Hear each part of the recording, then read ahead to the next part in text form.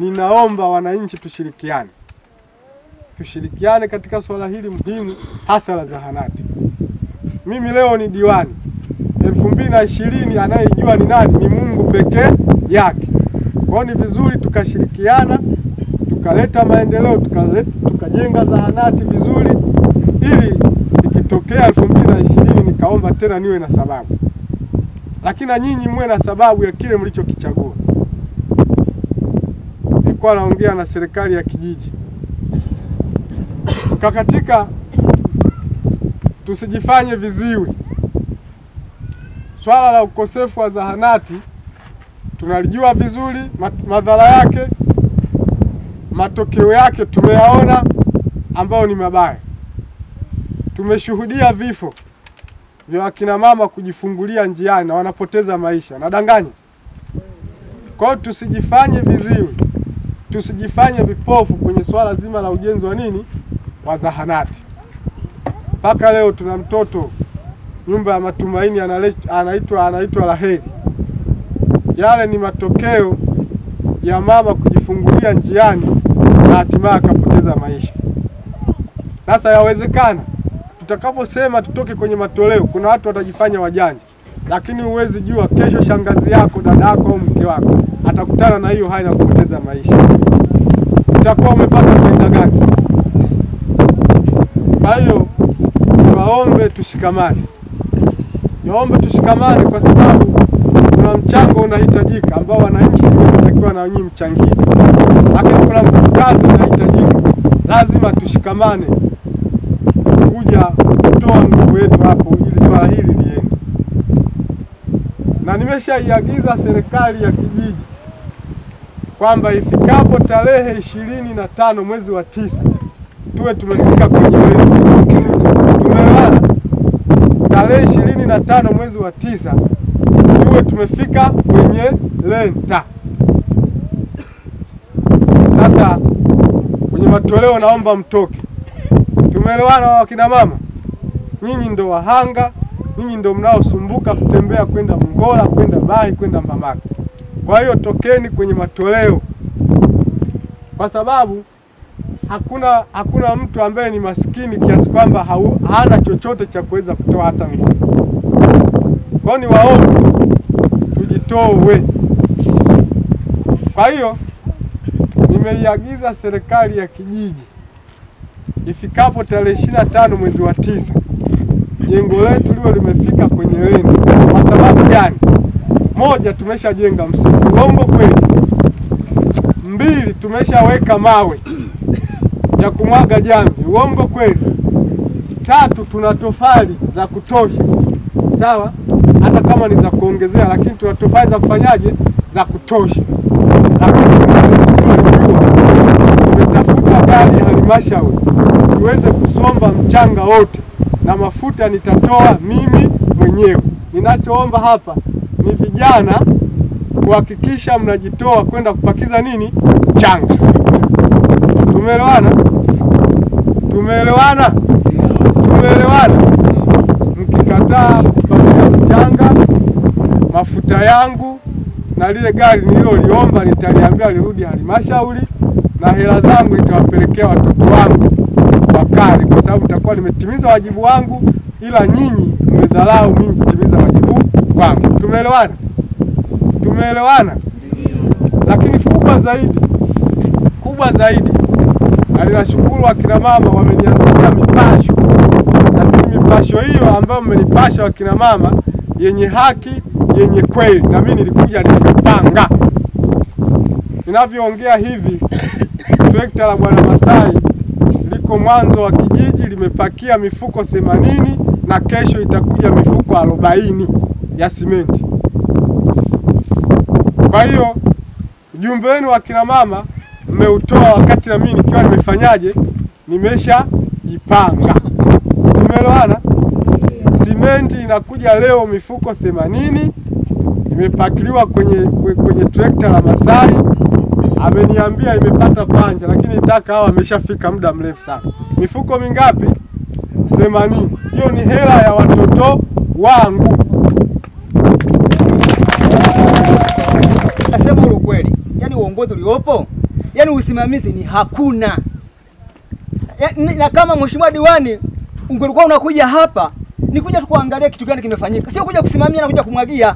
Inaonekana ni viongozi hawapo, isiwe viongozi wa serikali ya kijiji wa nani, wajumbe au mwenyekiti. Yani niseme ule ukweli, hakuna haya yote yanatupa, yani hata sisi tunavunjika mmoja atakuja kubeba dumu nikapeleka pale. Ukimuuliza mjumbe wa serikali ya kijiji kwa kwamba ni nini kinachokwamia, anamwambia kumuuliza mwenyekiti eh, maji au nini, anasema mwenyekiti na kesi Bangolo. Sasa mheshimiwa diwani, hivi sisi tunakwenda wapi? Yani mimi kwa kifupi nasema kwa hivi, sasa swali ni namna gani mheshimiwa diwani unatusaidia juu ya uongozi uliopo ili tuhakikishe zahanati yetu inakwenda ili ifanyike iwe huru, tunaomba mtuondolee mwenyekiti. Mwenyekiti hapa ni tatizo. Kila kazi ina mpaka, hawezi diwani kutoka Bahimakulu aje kusimama hapo amwagilie maji tofali, na uongozi upo. Mambo yanayofanyika hapa mkakatika mengi sana ya ajabu. Kila sehemu mwenyekiti anaguswa, kila tuhuma inamgusa mwenyekiti. Juzi wameuza viwanja hapo zaidi ya milioni moja na pesa, mpaka wamepigana kijioni, wanagombania ile hela. Sasa kweli tuna uongozi? Tukisema tu waonyeshe hivyo vitabu walivyokuwa wanakatia risiti kama hizo hela zipo, hakuna. Tuna bomba, halmashauri imejitahidi kutuletea bomba la maji, japokuwa ni kwamba tunatambua changamoto, wametuwekea koki moja, sawa, inasaidia angalau hata kwa asilimia ishirini lakini maji tunaweza tukamaliza wiki, wanasema mafuta hamna, hela amechukua mwenyekiti. Ile mita tukienda na wataalamu wakasome tangu ilivyofunguliwa, kwa sababu wazungu wao wakosei, inaonyesha maji yaliyotoka pale, mseme waonyeshe hela kama ipo, hakuna. Tatizo lingine, hatusomewi mapato na matumizi. Tuna vyanzo vingi sana vya mapato hapa ambavyo tuseme kwa mfano kama vibali vya mifugo, kuna asilimia huwa inarudi.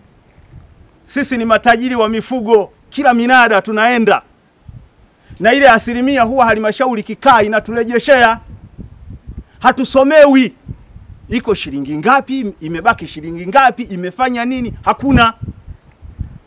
Sasa ili tufanye tu kwa kujitolea, hata mimi mwenyewe mmesikia kwamba ngalangala langu limebeba simenti, niko tayari kujitolea hata bure kusomba michanga hapo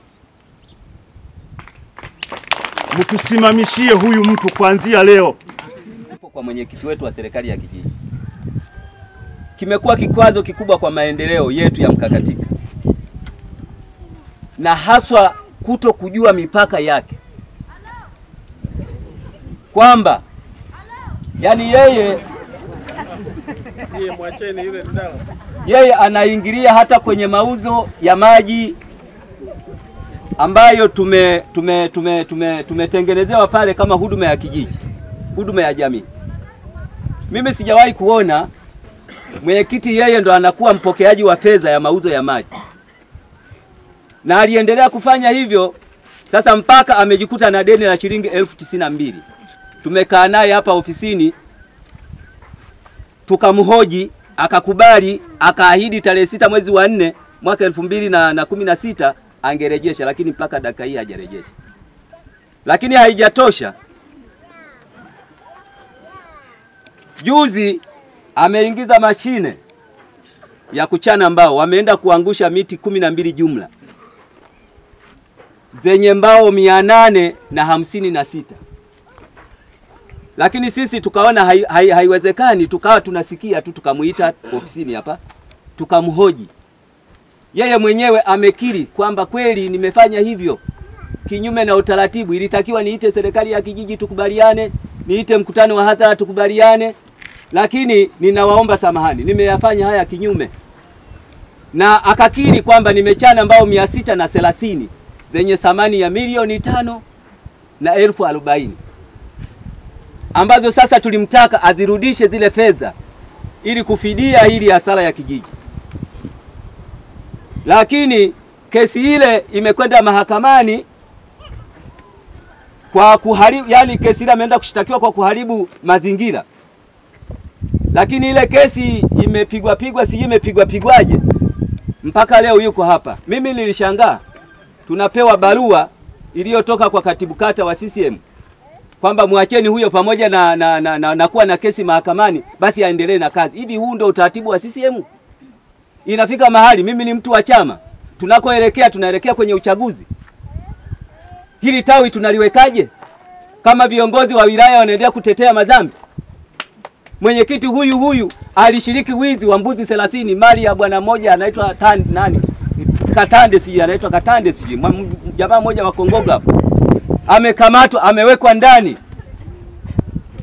amepelekwa uh, amepelekwa mahakamani. Sijui si, si, kama alipelekwa mahakamani, sina uhakika zaidi, lakini baada ya siku chache yuko hapa, tunafanya kazi naye. Hivi hivi hivi chama kinatutendea ni tunawatendea na, tunawatendea nini hawa watu waliopo? Kwa nini jamani, kama kama kama yeye ameshindwa asikae pembeni tukachagua wengine?